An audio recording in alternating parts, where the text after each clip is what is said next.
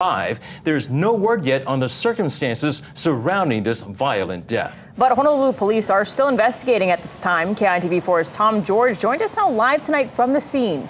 Tom, what have you found out so far?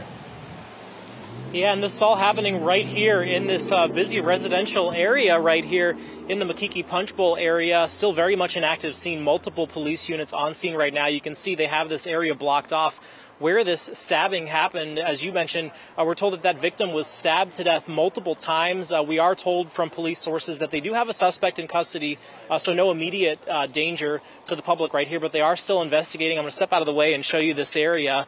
Um, the investigation centering around this house right there. We've seen crews going in and out again.